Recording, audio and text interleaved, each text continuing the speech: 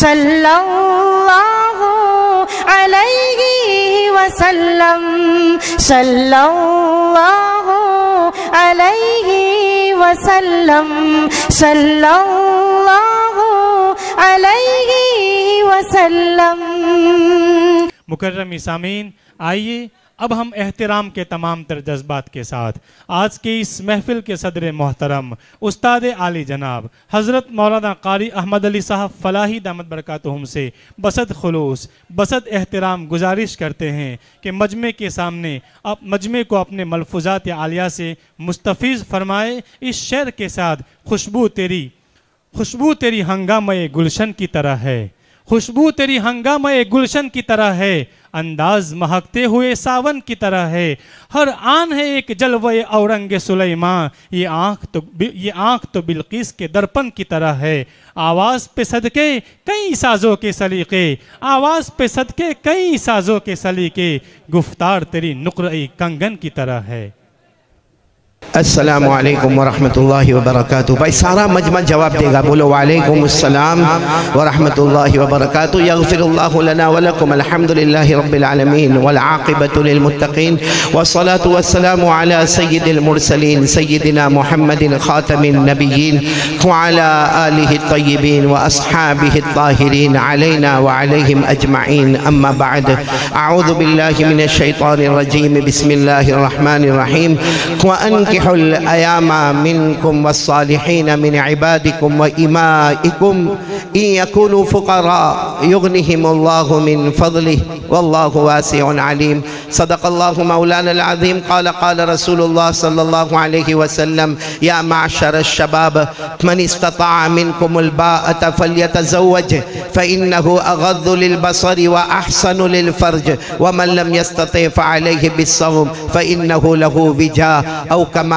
क़ाल रसूलुल्लाह सल्लल्लाहु अलैहि वसल्लम सदक़ रसूलुहुन नबियुल करीम व नहनु अला ज़ालिका लमिन शाहिदीन व शाकिरीन वल्हम्दुलिल्लाहि रब्बिल आलमीन काबिल सद एहतराम बहुत ही मुअक्कर और मुआज़ और मुबज्जल हजरात यहाँ बंच पर मौजूद है चाहे वो दीन की लाइन हो या दुनियावी लाइन हो बड़े बड़े मुख्तदा और मुख्तदर हजरात इस वक्त बंच पे तशरीफ़ फरमा है। अल्लाह तबारक व ताली हम सब के जमा होने को कबूल फरमाए, बोलो आमीन। भाई, आप साथ देते रहोगे ना मेरा इन आप दुल्हों को जल्दी तो नहीं?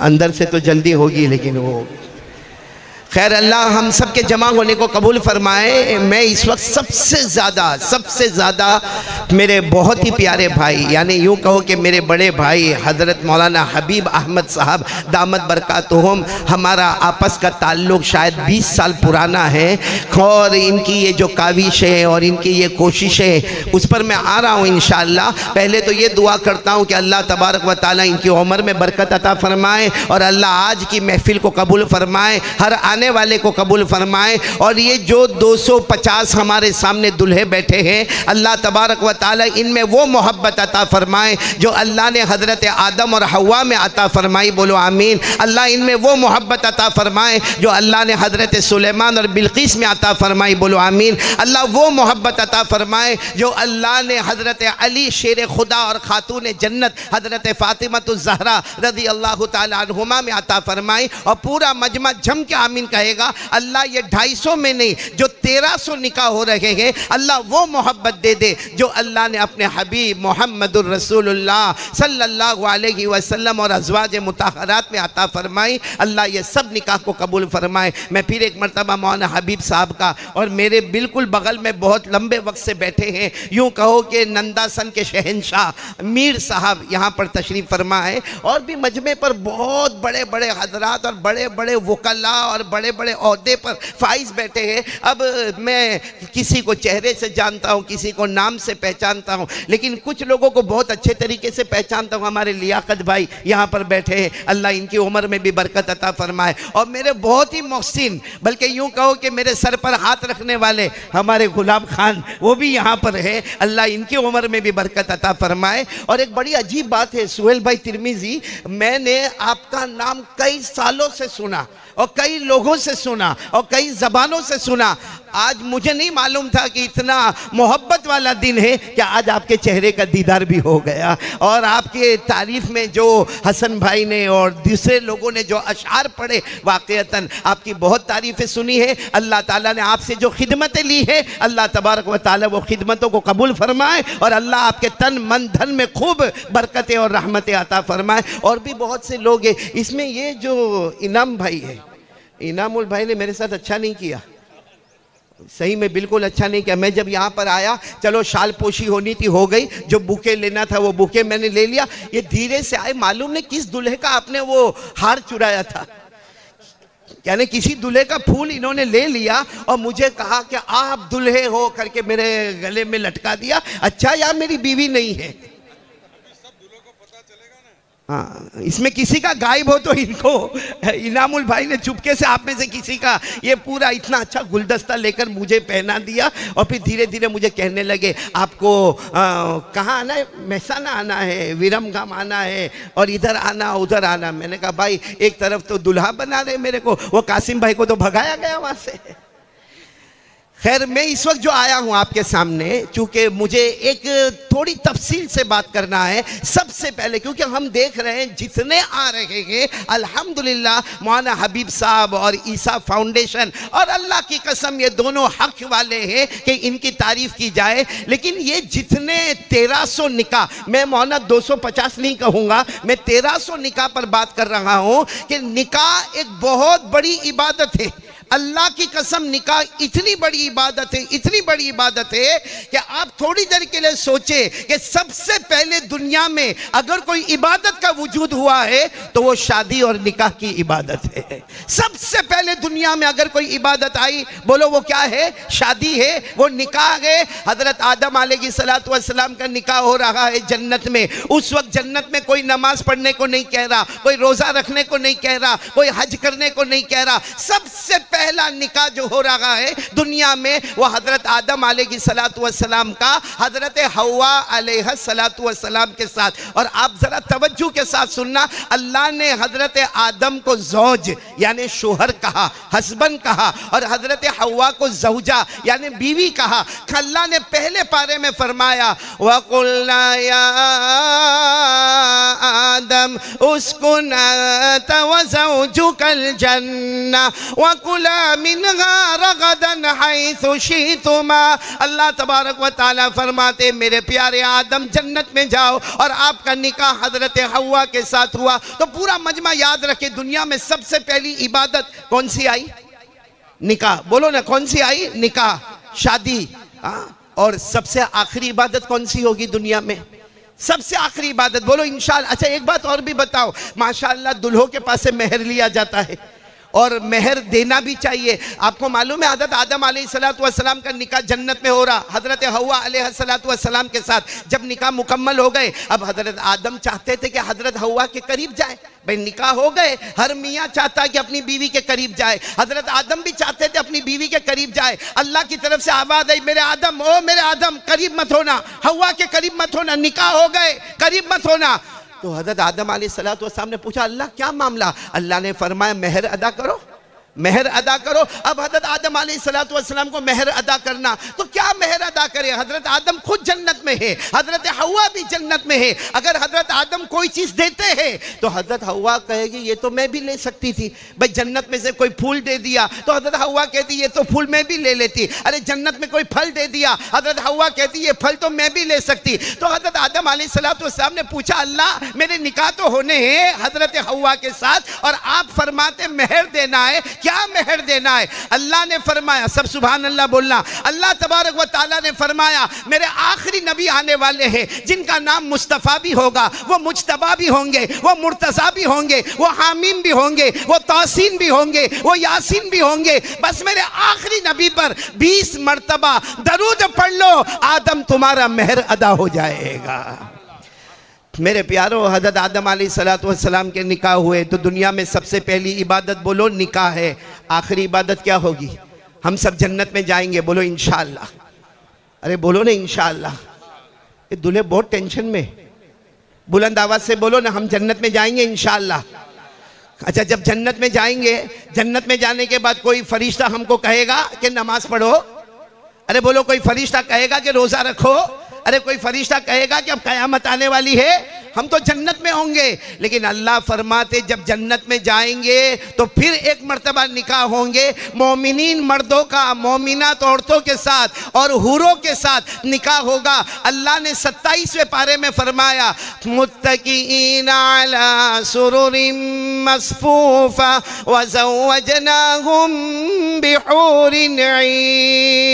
अल्लाह तबारक फरमाते, जब सारे जन्नती जन्नत में जाएँगे और सारे के सारे अपने मसेरियों पर बैठे होंगे। अल्लाह फरमाते मोमिन मर्दों का हम हूरों के साथ निकाह करेंगे। तो मेरे प्यारों, ये बात समझ में आ गई कि सारी इबादतों में, शुरू में सबसे पहले आने वाली इबादत निकाह है और सबसे आखिरी इबादत भी निकाह है और एक निकाह हो जाए।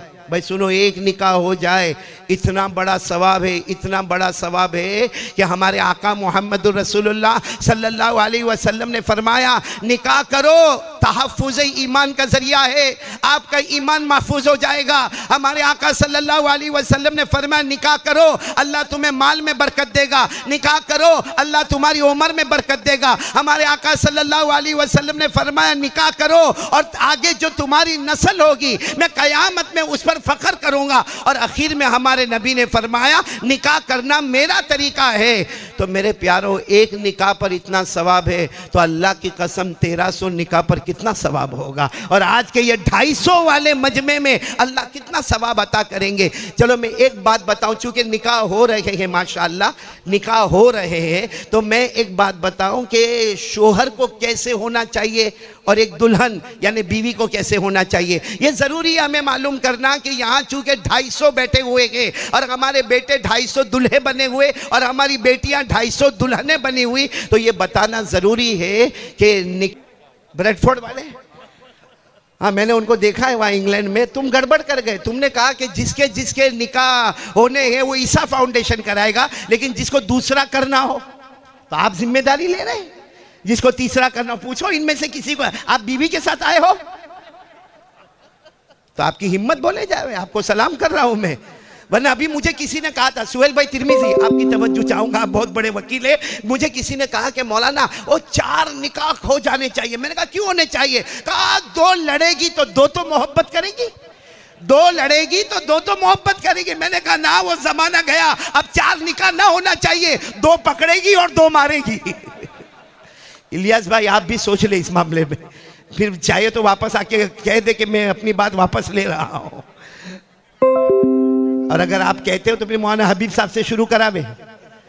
हाँ, ये पठान भाई करे तो फिर हमको हिम्मत आवे। ये पठान है हम उठ पठान। है हाँ, खैर मैं सारे लोगों से कहूँगा पूरा मजमा मेरा साथ देगा। पूरा मजमा साथ में बोलो हमारे नबी से बढ़कर कोई नबी नहीं नहीं, ऐसे आहिस्ता बोलोगे तो नहीं चलेगा। साथ में बोलो ना, हमारे आका से बढ़कर कोई आका। पूरा मजमा साथ में बोले, हमारे आका से बढ़कर कोई आका नहीं। हमारे ताजदार मदीना से बढ़कर कोई ताजदार नहीं। पूरा मजमा साथ में, मुझे जिस बात पर जाना है, पूरा मजमा कहेगा, हमारे नबी वो नबी। बोलो बोलो, साथ में बोलो, हमारे नबी वो नबी वो नबी वो नबी वो नबी वो नबी वो नबी वो नबी वो नबी वो नबी वो नबी। अल्लाह की कसम हमारे नबी वो नबी, उंगली मुबारक से इशारा करे, चाँद के दो टुकड़े हो जाए। बोलो सुबह अल्लाह, आधा इधर हो जाए, आधा। उधर हो जाए। अरे इससे बढ़कर हमारे नबी ताजदार मदीना, मोहम्मद मुजतबा, अहमद मुस्तफ़ा, रात के सन्नाटे में अपनी उंगली मुबारक से यूँ इशारा करे, फिर यूँ इशारा करे, फिर तीसरी मरतबा इशारा करे। एक हज़ार चार सौ सहाबा अपनी जबान से बोले, हमारे नबी इशारा करते गए करते गए करते गए। डूबा हुआ सूरज भी, बोलो, डूबा हुआ सूरज भी मोहम्मद के इशारे पर वापस आ जाए। बोलो ना सुबहान अल्लाह बोलो ना सुबहान अल्लाह एक मरतबा बोलो ना, नारे तकबीर।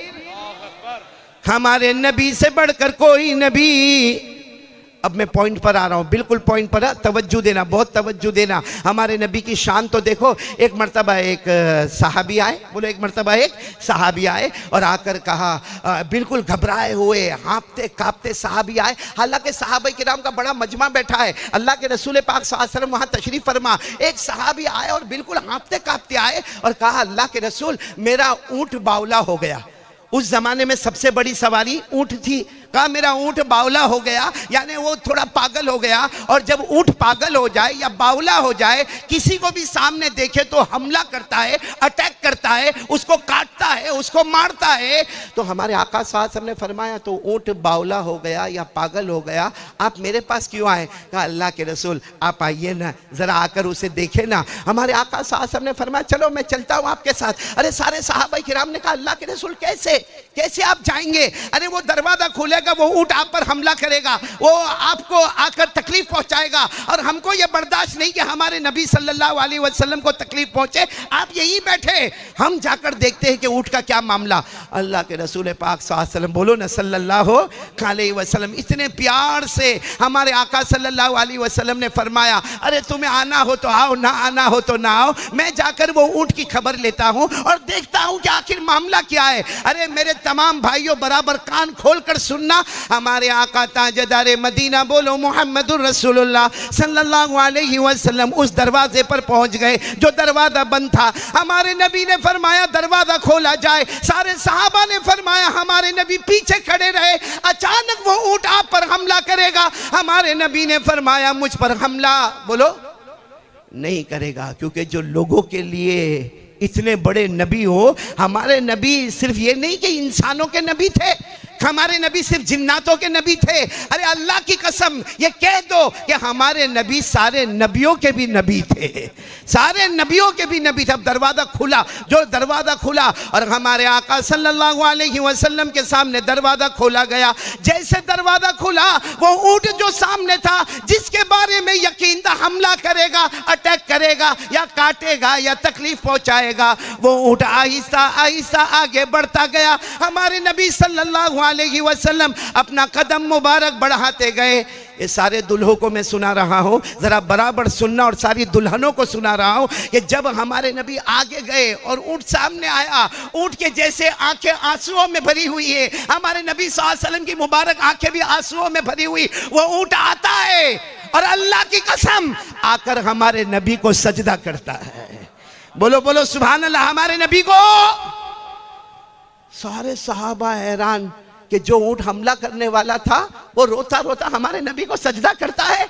तो सारे साहब किराम की आँखों में भी आँसू आ गए। फरमाया, अल्लाह के रसूल, अगर ये ऊँट आपको सजदा करता है, आप हमें भी परमिशन दे। हम भी आपको सजदा करें। भाई, आप हमें भी परमिशन दे। हम भी आपको सजदा करें। मेरे प्यारो, सुनना। हमारे आका सल्लल्लाहु अलैहि वसल्लम का जो स्टेटमेंट था, हमारे नबी ने क्या फरमाया? सल्लल्लाहु अलैहि वसल्लम, ला यस्जुदु अहदुन लि अहदिन, लव अमरु अहदन, अन यस्जुद लि अहदिन, ला अमरतु निसा, अन यस्जुदन लि अज़वाजिहिन हमारे नबी वसल्लम ने फरमाया, कोई किसी को सजदा न करे। अल्लाह ने हराम किया, कोई किसी को सजदा न करे। लेकिन फिर हमारे नबी ने फरमाया, अगर अगर मैं सजदा करने की इजाज़त देता, दी नहीं, अगर मैं इजाज़त देता, हर बीवी को हुक्म देता कि वो अपने शोहरों को सजदा किया करे। तो इससे मालूम हुआ कि हर बीवी होने वाली जो दुल्हने हैं चाहे वो तेरह सौ की तादाद में मेरी आवाज़ पहुँचती हो, या सामने ढाई सौ के में मेरी आवाज़ पहुँचती हो, हर बीवी को चाहिए कि अपने शोहर की इतात करे, अपने शोहर की फरमा बरदारी करे, अपने शोहर हदीस पाक में लिखा, अगर शोहर अताअत बालहा, अपने शोहर की फरमा बरदारी करे दखलत जन्ना बगैर हिसाब वाला किताब, बगैर हिसाब किताब के जन्नत में चली जाएगी। ये तो मैंने दुल्हनों के वास्ते कहा, लेकिन मेरे प्यारे हम जो दुल्हे बने हैं, हम तो पहले बन गए बन गए। आप अभी ताज़ा ताज़ा बने हो। हमको क्या करना चाहिए उनके साथ? भाई, बीवी को तो हुक्म है, शोहर की फर्मा बरदारी करे, शोहर के जान की हिफाजत, माल की हिफाजत, अपनी आबरू की हिफाजत, अपने घर की हिफाजत। लेकिन बीवी बीवी तो सब कर रही है। शोहर को क्या करना चाहिए? आपको मालूम है हमारे आका सल्लल्लाहु अलैहि वसल्लम ने बीवी का कितना ख्याल फरमाया? कितना ख्याल फरमाया। एक मरतबा एक साहबी आए और आकर कहा कि अल्लाह के रसूल सल्लल्लाहु अलैहि वसल्लम, आपको हमारे घर खाने की दावत है। आपको हमारे घर खाने की दावत है। मुस्लिम शरीफ की रिवायत है। आपको हमारे घर खाने की दावत है। हमारे नबी साहब ने क्या पूछा? आयशा तुम आई मैं आयशा को भी लेकर आऊँ? मेरी बीवी को साथ में लेकर आऊँ? तो वो दावत देने वाले ने कहा, नहीं, अल्लाह के रसूल, आपको अकेले को दावत है, आयशा को दावत? बोलो, आयशा को दावत नहीं। तो हमारे नबी ने फरमाया ईदन फला। तब तो मैं भी दावत कबूल नहीं करूँगा। ये कहकर हमारे नबी सासम चले गए। कुछ दिन के बाद वो साहबी वापस आए, अल्लाह के रसूल, आपको मेरे घर दावत है। हमारे नबी ने फरमाया, आयशा तुम आई? मेरी बीवी आयशा भी आएगी ना साथ में? कहा नहीं, आयशा नहीं, आप अकेले आओगे। हमारे नबी ने फरमाया तो मैं दावत कबूल नहीं करूँगा। अब सुनना, कुछ जमाने के बाद वो साहबी आए, उनके पास भी बड़ी गरीबी का मामला था। आए, कहा, अल्लाह के रसूल, मैं बहुत दिल से चाहता हूँ कि आपको मैं दावत दे दूँ। हमारे नबी ने फिर वो, वही बात फरमाई, आयशा तुम आई? आयशा मेरे साथ होगी। कहा, ज़रूर, आपकी बीवी आयशा भी आपके साथ होगी। अल्लाह की कसम, हमारे नबी ऐसे मुस्कुराए कि मैं कहता हूँ, जब नबी ऐसे वक्त में मुस्कुराते थे, ऐसा लगता था अंधेरी रात में, चौदहवीं रात का चाँद निकल कर सामने आ गया। तो हमारे नबी ने कितना ख्याल फरमाया, पहले दावत कबूल नहीं की, क्योंकि मेरी बीवी मेरे साथ में नहीं। दूसरी मरतबा दावत कबूल नहीं की, क्योंकि मेरी बीवी मेरे साथ में नहीं। इसलिए मैं आप तमाम से कहूँगा, या हमारे नबी ने एक नमूना एक एक हमको एग्ज़ाम्पल दिया कि शोहर को अपनी बीवी का कितना ख्याल करना चाहिए। मुझे तो समझ में नहीं आता मौन हबीब साहब, हमारे समाज में और हमारी सोसाइटी में और हमारे ये बहुत अजीब व गरीब मामला है। कोई बीवी के ऊपर हाथ उठाता है कोई बीवी को धक्के देता है, कोई बीवी को कहता है, तेरी माँ ऐसी, तेरा बाप ऐसा। अरे कोई कोई बीवी को तलाक देता है डिवोर्स देता है। मेरे प्यारो, अल्लाह की कसम, ये बहुत बड़ा गुना है। बीवी के ऊपर हाथ उठाना, बीवी के ऊपर शक करना, बीवी को बीवी को धक्के देना, बीवी को उसके माँ बाप के गालियाँ देना और बीवी से जहेज का बार बार मुतालबा करना, ये हराम है मेरे प्यारो। कयामत में इसका जवाब देना होगा, बल्कि आपको ताज्जुब होगा। बुखारी शरीफ की रिवायत है कि एक मरतबा हमारे आका, बोलो मोहम्मद रसूलुल्लाह सल्लल्लाहु अलैहि वसल्लम सफ़र में। बोलो, हमारे नबी सफ़र में उस ज़माने में ऊँटों के काफले होते थे, उस पर हौदज होता था, यानी एक छोटी सी डोली बनी होती। उस डोली में हमारे नबी सल्लल्लाहु अलैहि वसल्लम की बीवियाँ हैं, यानी अजवाज मुताहरा थे और हुआ क्या कि जब वो ऊँट चल रहा है, और उसके ऊपर हौदज है, और हौदज के अंदर बीवी है, और वो ऊँट चल रहा है, एक सहाबी जिनका नाम है अंजशा। बोलो, क्या नाम है? कंजशा उन्होंने क्या किया? कुछ ऐसा पढ़ना शुरू किया, जिसको अरबी जबान में हुदी कहते हैं। ऐसा पढ़ना शुरू किया कि ऊँट तेज़ी के साथ दौड़ने लगे दौड़ने लगे। हमारे नबी हज़रत अंजशा के पास गए और जाकर कहा, या अंजशा रुआई का कवारीर, अंजशा, ऊंटों को आहिस्ता चलाओ। क्योंकि तुम्हारा तेज चलाने से घर की औरतों को तकलीफ़ होती है। हमारे नबी ने यह तकलीफ़ भी बर्दाश्त नहीं की कि सवारी पर औरत बैठी हो और घबराती हो और कोई ड्राइवर तेज चलाता हो। हमारे नबी ने फरमाया, मेरी बीवी घबराती है, आहिस्ता चलाओ। अगर हम भी मोटरसाइकिल पर हो, हमारी बीवी हमारे साथ हो, फोर व्हीलर पर हो, हमारी बीवी हमारे साथ हो और हम धनाधन गाड़ी भगाते और बीवी कहती, आहिस्ता हो जाओ, आहिस्ता हो जाओ, आहिस्ता हो जाओ इनशाला उस वक्त भी नबी की सुन्नत ज़िंदा हो जाए जाएगी इसलिए मेरे प्यारों हमें चाहिए कि हम जो शोहर हैं वो बीवी के साथ अच्छा सलूक करे, बीवी शोहरों के साथ अच्छा सलूक करे क्योंकि ये बहुत ज़रूरी है। अल्लाह ताला ये सारे दुल्हों के निकाह को कबूल फरमावे। मेरे लिए ये जहन में बार बार बात आ रही थी कि कहूँ कि बीवी का भी एक हक होता है, शोहर का भी एक हक होता है। हमारी प्यारी बेटियाँ अपने शोहर का हक अदा करें, हमारे प्यारे बच्चे अपनी अपनी दुल्हनों का हक अदा करें। और आज आपकी ज़िंदगी की इब्तदा होगी, ये एक नई इब्तदा होगी। हमारे आका सल्लल्लाहु वसल्लम ने फरमाया कि जिसने निकाह कर लिए, समझो उसका ईमान मुकम्मल हो गया। आज आपका ईमान मुकम्मल हुआ है, आपकी दुआएँ कबूल होगी। और सबसे बड़ी बात है कि ये महीना कौन सा? अरे बोलो ना, ये महीना कौन सा? रजब महीना। और बिल्कुल महराज करीब। बोलो, महराज करीब। और इसी महराज में, माशाल्लाह, आपको मालूम है, हमारे आका सल्लल्लाहु अलैहि वसल्लम अर्श पर पहुँचे। अल्लाह से मुलाकात हुई। अल्लाह ने फरमाया वहुवा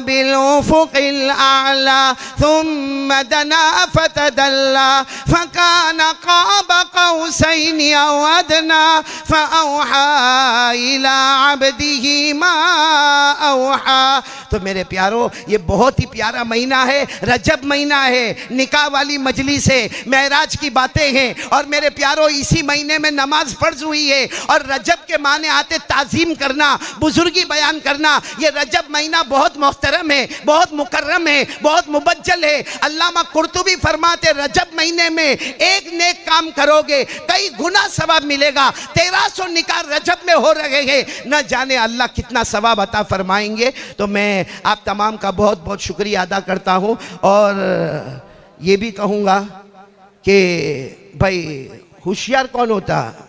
मियाँ या बीवी? हाँ सुहेल भाई, माफ़ी चाहूँगा। हस्बैंड होशियार या वाइफ?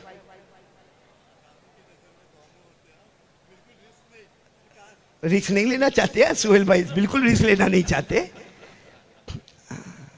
अरे मैंने तो एक मरतबा पढ़ा तो ताज्जुब में पड़ गया, एक मियाँ बीवी का झगड़ा हुआ, मौलाना हबीब साहब, बहुत धूमधाम झगड़ा, बहुत धूमधाम झगड़ा। अच्छा एक बात बता दूँ आप लोगों को, मियाँ बीवी में झगड़ा होना भी चाहिए। यहाँ होता होगा ना अहमदाबाद में भाई? हाँ या नहीं? एक ने मुझे कहा, मौलाना महबूब साहब, के हमारे यहाँ झगड़ा ही नहीं होता। मैंने कहा, बहन भाई तो नहीं है? पूछो ना, वह क्या गुलाब खान है? गए? तो उनकी बात पर आया तो चले गए भाई। हर मियाँ बीवी में जमीर साहब हुआ कि नहीं हुआ, आप जितने तजर्बे, कोई इतना तजर्बेकार नहीं यहाँ पर। झगड़ा होता है। एक मरतबा मियाँ बीवी में झगड़ा हो बीवी इतनी होशियार, इनाम भाई, बीवी इतनी होशियार, अपने शोहर को कहती है, देख, अगर तेरी गलती होवे, अल्लाह तेरे को मौत देवे। मेरी गलती होवे, अल्लाह मेरे को बेवा बना देवे। मतलब चट भी उसकी ने पट भी उसकी, मरना तो अपने को ही है। अब तो सुहेल भाई बोल दो ना, बीवी होशियार है। खैर, अल्लाह आप सबको बहुत अच्छा रखे। मैं इस वक्त सबसे ज़्यादा शुक्रिया अदा करूँगा हमारे हाफिज जुबेर का, मोहसिन भाई का, और ये पूरे ईसा फाउंडेशन का और ईसा फाउंडेशन के बानी मबानी, जो हिंदुस्तान में ईसा फाउंडेशन को लाकर इतना ज़्यादा उसका प्रचार करने वाले, मेरे बहुत ही प्यारे भाई मौलाना हबीब साहब, आप सबने दुआएँ दी, बड़ी अजीब अजीब दुआएँ दिया। किसी ने कहा, अल्लाह मौलाना की उम्र में बरकत देवे, मौलाना को तंदुरुस्ती देवे, मौलाना को सेहत देवे। मैंने इनके जो काम देखे, जितना करीब मैं इनसे रहा हूँ, और एक लंबे ज़माने तक हम बहुत करीब करीब करीब करीब रहे, अब ये थोड़ा थोड़ा मेरे को दूर कर रहे वरना हम बहुत करीब करीब करीब से करीब तरह। मैंने इनके कामों को देखा क्योंकि ये मदरसा चलाना, ये फैज़ानुल कुरान, उसके बाद फैज़ान स्कूल, उसके बाद न जाने कितनी क्लासेस, और उसके बाद में मदरसा हलीमा, और उसके बाद में लोखंड वाला हॉस्पिटल, और उसके बाद में भाई, पहले इन्होंने 35 निकाह से काम शुरू किया, फिर 250 निकाह, फिर 500 निकाह, और उसके बाद में फिर 1100 निकाह, और ये साल 1300 निकाह। आप सोचें, निकाह करने वाले दुल्हे और निकाह करने वाली दुल्हने दोनों को मिलाए तो कहाँ से कहाँ तक ये तादाद जाएगी और जिस घर में एक मरतबा सुबह अल्लाह पढ़ा जाता होगा, अंदाज़ा लगाओ पूरे ईसा फाउंडेशन के लिए और मौलाना हबीब के लिए जन्नत में कितने बागात तैयार हो रहे होंगे। अल्लाह इनकी उम्र में, बल्कि मैंने तो इससे पहले भी मौलाना सूरत आए थे, मैंने कहा मौना ये क्या दुआ देने का कि अल्लाह आपकी उम्र में बरकत दे? क्योंकि ये बात बिल्कुल खुले शब्दों में कह दो कि मौलाना हबीब जो काम कर रहे हैं, वो हमसे नहीं होगा। अरे बोल दो ना हमसे। आपसे होगा? भाई, मैं खुद नहीं कर सकता भाई ये काम। हम एक बीवी से परेशान। तेरह सौ तेरह सौ निका कराना मौलाना, ये हमारे बस की बात नहीं है। ये मौलाना महबूब के बस की बात भी नहीं है। ये भी धीरे से बैठ के धीरे से निकल जाता महबूबुल उलमा। हाँ। देखो, गुलाब खान ने भी देखा, मैसेज आया। सोहेल भाई, आपको कोई मैसेज? वाइफ का नो मैसेज चलो ओके अलहमदुल्ला तो मतलब ये है कि हम ये दुआ न दे। मैंने जो दुआ दी, उस पर आमीन कह दे कि मौलाना जो काम कर रहे हैं, मौलाना हबीब साहब, हमारे जो काम कर रहे हैं, चाहे वो दीन की लाइन हो, दुनिया की लाइन हो, एकता की लाइन हो, बड़े बुज़ुर्गों की लाइन हो, छोटे बच्चों की लाइन हो, बल्कि मेरे को तो ताज्जुब हुआ, ये तो शादी हुई नहीं, और आपको इनके बच्चों की फ़िक्र हो गई? अब ये भी जाके बहुत मेहनत करेंगे। भाई मेहनत करेंगे ना? हाँ मेहनत करो मेहनत करो बेटो। मैंने एक मरतबा पढ़ा था वो बड़ा अजीब था। तो आ, क्या था मैं भूल रहा हूँ। हाँ वो एक क्या बच्चा पैदा हुआ। बीवी को पूछा नाम क्या रखे? कहा रखो इलाही बख्श। रख दिया। दूसरा लड़का हुआ। बीवी को पूछा आप क्या रखे? तो कहा रख दो मुस्तफ़ा बख्श। रख दिया। तीसरा हुआ, कहा, अब क्या करे? तो कहा, रख दो अली बख्श। ऐसा करते करते आठ हो गए, सब बख्श बख्श। अब जब नौवा मरतबा प्रेग्नेंट हुई तो शोहर बीवी को कहता, अब क्या नाम रखे? कहा, रखो अल्लाह बस। तो भाई आप लोगों को तो कितनी बड़ी छुट्टी दे दी है मौलाना हबीब साहब ने। कि माशाल्लाह तुम्हारी औलादे होगी, वो छोटे होंगे तो फैजानुल कुरान होगा, वहाँ दीनी तालीम होगी, उनको दुनियावी तालीम चाहिए तो फैजान स्कूल होगी, ट्यूशन चाहिए तो आगे क्लासेस होगी, और उसके बाद में आगे नौकरी चाहिए तो उसके लिए भी ईसा फाउंडेशन इंतज़ाम करेगा, और उसके बाद जब बच्चों की शादी करनी होगी, मालूम नहीं उस वक्त हम होंगे नहीं होंगे तो वहाँ पर भी आपको सहरा पहनाया जाएगा तो मैं आप तमाम का बहुत बहुत शुक्रिया अदा करता, ईसा फाउंडेशन का शुक्रिया अदा करता और हम सब मिलकर मौना हबीब साहब के लिए दुआ करते कि अल्लाह हमारी उम्र भी इनको नसीब फरमाए और अल्लाह ताला इनके जान माल में बरकत अता फरमाए। जिस मेहमान का हम इंतज़ार कर रहे थे और जिसकी वजह से मैं बातों को आपके सामने बहुत तफसील से बयान कर रहा था, वो मेहमान हमारे दरमियान में आ गए हैं। अब मैं अपनी बात को ख़त्म करता हूँ और आप तमाम से एक बात कहूँगा। भाई सब सुनोगे नहीं इनशाला नहीं आवाज़ नहीं आ रही। आखिरी बात, दो मिनट मौलाना। आखिरी बात, सब सुनेंगे नहीं इनशाला हम जिस वतन में रहते हैं, अल्हम्दुलिल्लाह ये हिंदुस्तान वतन है यह हमारा भारत है यह हमारा हिंदुस्तान है यह हमारा वतन है। मेरे प्यारो, इस वतन ने हमको एक बात सिखाई है, इंसानियत। जैसे मौना हबीब साहब ने बहुत अच्छा बयान में कहा कि कोरोना में इंसान मरा था, इंसानियत नहीं मरी थी। कोरोना में इंसान मरा था, इंसानियत नहीं मरी थी। तो मैं आप तमाम को एक बात कहूँगा, हमारा ये हिंदुस्तान वतन में कोई भेदभाव नहीं। हम हिंदू हो, हमारे प्यारे मुसलमान भाई हो, प्यारे प्यारे हिंदू भाई हो, सिख हो, ईसाई हो, हम सब एकता वाले, एक ही एक ही ट्रैक पे चलने वाले और अल्लाह की कसम जब तक हम एक रहेंगे, हमारा हिंदुस्तान मुल्क तरक्की करता रहेगा। जब हमा में होगी तो हमारा हिंदुस्तान तनजुली पर आएगा। दुआ करो अल्लाह हासिदों के हसद से हिंदुस्तान को बचाए। एक आखिरी बात मैं आपके सामने कहकर बात खत्म करूँगा। एक मरतबा एकताइत का प्रोग्राम था। एकताइत यानी हिंदू, मुस्लिम, सिख, ईसाई सबको जमा किया गया था। एकताइत का प्रोग्राम था और उस एकताइत के प्रोग्राम में एक बयान करने वाले आए। सुनना एक बयान करने वाले आए और उन्होंने माइक को अपने हाथ में लिया। अब सबको ऐसा लगा कि ये बयान करने वाले, तकरीर करने वाले बहुत लंबी तकरीर करेंगे, बड़ा प्रवचन होगा। उन्होंने सिर्फ़ इतना कहा, हम। बोलो, क्या कहा? नहीं आवाज़ नहीं आ रहा, आप सब लोगों की। बोलो ने, क्या कहा? और माइक छोड़ दिया, बैठ गए। पूरा मजमा हैरान कि इतना बड़ा प्रवचन करने वाले, लेक्चर देने वाला, तकरीर करने वाला, सिर्फ़ हम बोलकर बैठ गए। सारे हिंदू है, मुसलमान है, ईसाई है, सिख है। अरे पूरा मजमा, बड़ी गैदरिंग है। सबने कहा कि आप फिर से माइक पर आइए। वो फिर माइक लिए। और कहा हम, और फिर बैठ गए। क्या हो गया? क्या बोले? हम बैठ गए। सब फिर हैरान कि आज ये क्यों क्यों अपना प्रवचन नहीं दे रहे? ऐसे तो ये दो दो घंटे का लेक्चर देते। आज इनको क्या हो गया? फिर सबने रिक्वेस्ट की कि आपको बुलाया है और आपको प्रवचन के लिए बुलाया है। वो फिर माइक लेकर खड़े हो गए और कहा, हम बैठने लगे तो सबने पकड़ लिया। अब बैठना नहीं। ये बताओ आप बार बार हम हम क्यों कहते हैं? कहा, ये एकताइत का प्रोग्राम है। यहाँ हमारे मुकद्दस हिंदू भाई भी है, सिख भाई भी है, ईसाई भी है और हम मुसलमान भी है, सब है माशाल्लाह। उन्होंने कहा, हम का मतलब क्या? हम में दो हरफे, हम, एक हा और एक मीम। बोलो, एक हा और एक मीम। हा से हिंदू, मीम से मुसलमान। ये दो साथ में है तो हम है और हम है तो हिंदुस्तान की तरक्की है। हम साथ में तालियों के साथ बोलो, हम है तो हिंदुस्तान है, और हिंदुस्तान में हम है तो तरक्की है, और जहाँ इन दो में किसी ने दरारें डाली, किसी ने हसद पैदा किया, किसी ने दोनों को अलग किया तो हर एतबार से हिंदुस्तान नीचे आता हुआ आपको नज़र आएगा। इसलिए हमको, हम बन के रहना है और मौना हबीब साहब की इसमें बहुत बड़ी मेहनत है। मैंने देखा इन्होंने ऐसे ऐसे भी निकाह करवाए हैं कि माशाल्लाह आप वहाँ, हमारी बहुत प्यारी हिंदू बेटी थी, उनके पास गए और उनके सामने जाकर निकाह के बारे में रखा। उन्होंने कहा कि हमारी मूर्त फला वक्त में निकली है। उस वक्त का ख्याल किया। ख्याल करने के बाद उनको पूरा जोड़ा दिया। बल्कि उनकी हालत को देखकर मौना हबीब साहब ने और भी बहुत कुछ जो उन्होंने मुझे राजदाराना तौर पर बताया। बड़ी बड़ी तवज्जो दी। और कोरोना के अंदर जो मुसल जो मौलाना हबीब साहब का किरदार था, वो मैंने खुद देखा। अरे, रोज़ाना पचास पचास हज़ार आदमियों को खाना खिलाना कोई आसान काम नहीं होता। अरे, हमारे यहाँ एक आदमी खाना खाने आए और हम बीवी को बोले कि चार आ गए, घर में झगड़ा शुरू हो जाता है। यहाँ पचास हज़ार आदमी को रोज़ाना खाना खिलाना। इसलिए मैं कह रहा हूँ कि एक मरतबा, सब दुआ दो। सबने बहुत दुआ दे दी मौलाना हबीब की उम्र में बरकत। बोलो, आमीन।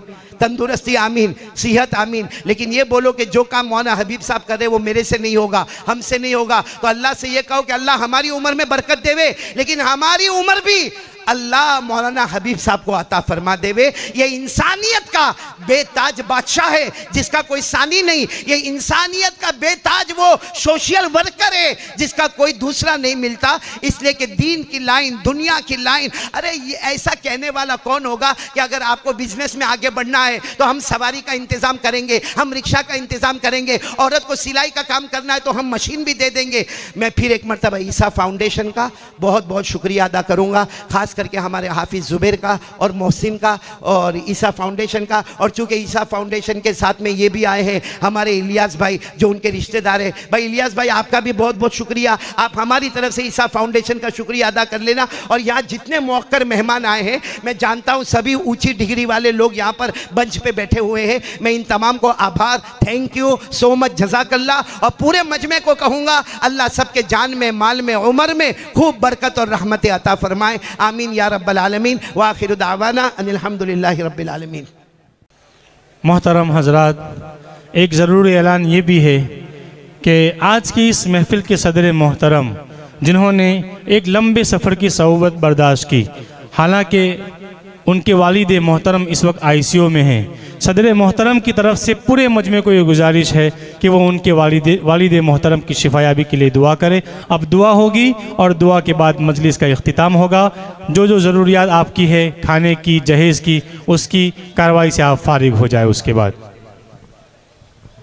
अल्लाहुम्म सल्लि अला सय्यिदिना मौलाना मुहम्मद व अला आलि सय्यिदिना मौलाना मुहम्मद व बारिक वसल्लम अल्हम्दुलिल्लाहि रब्बिल आलमीन वस्सलातु वस्सलामु अला सय्यिदिल मुरसलीन व अला आलिहि व अस्हाबि अजमाइन रब्बना आतिना फिद दुनिया हसनतन व फिल आखिरति हसनतन व क़िना अज़ाबन नार ए अल्लाह हमारे गुनाहों को माफ़ फरमा हमारी ख़ताओं से दरगुदर फरमा अल्लाह आज की मजलिस को कबूल फरमा अल्लाह इस मजलिस को महबूबियत मकबूलियत इज़्ज़त शराफत